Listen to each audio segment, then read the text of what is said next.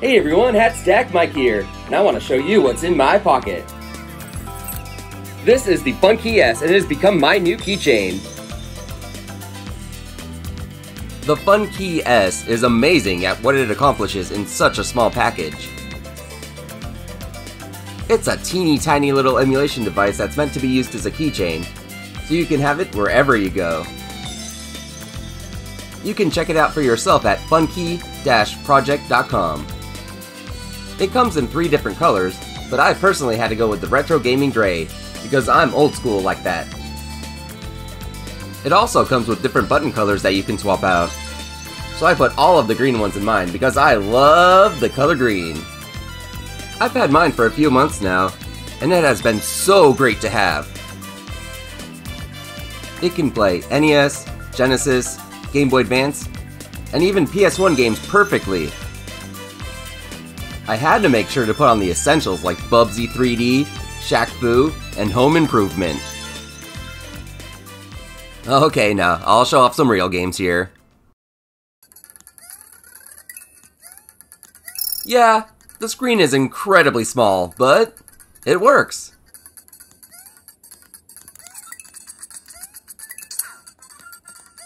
Playing platformer games like Mario and Sonic, or fighting games like Street Fighter and Mortal Kombat.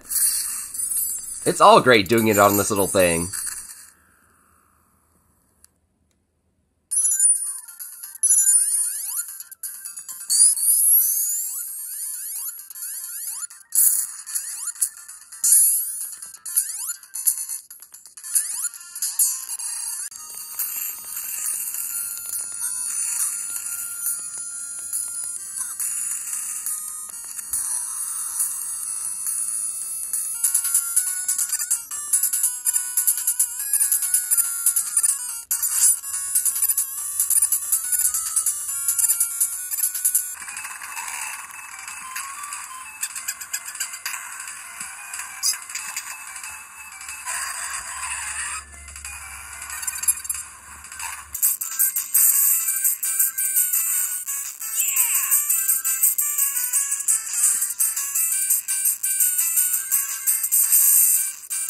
The Genesis emulator also runs Sega CD and 32X games, which is pretty awesome.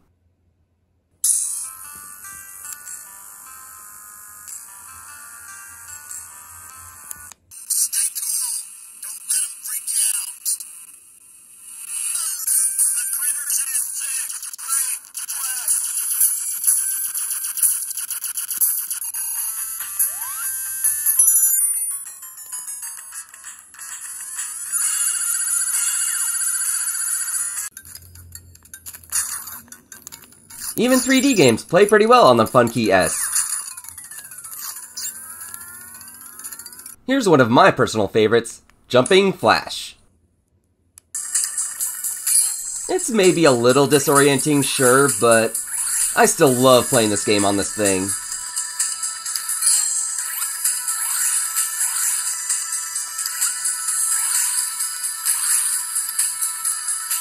It's just so incredibly cool to be able to whip out Tony Hawk's Pro Skater at any point.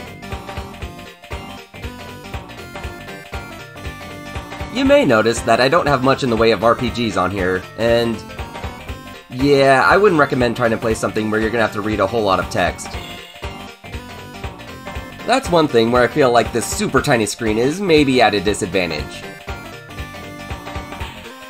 If you want to try and play RPGs on a Funkey S of your own though, then hey, Go for it. You do you.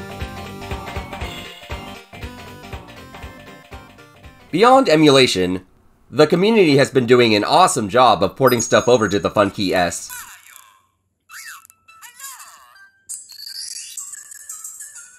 While there may be no Nintendo 64 emulation, I can still run Super Mario 64 on this thing. It may feel a bit weird to control without an analog stick, but it's Mario 64 on a keychain. How cool is that? And for the hardcore Sonic fans like myself who follow Sonic fan games, the excellent Sonic Robo Blast 2 has been ported over to the Funkey S as well.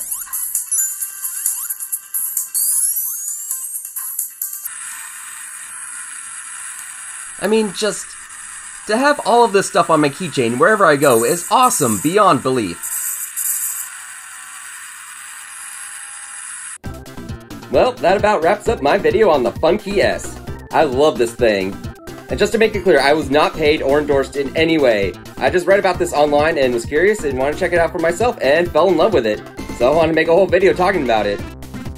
Well, I'll catch you guys later and have a hat stacking good day.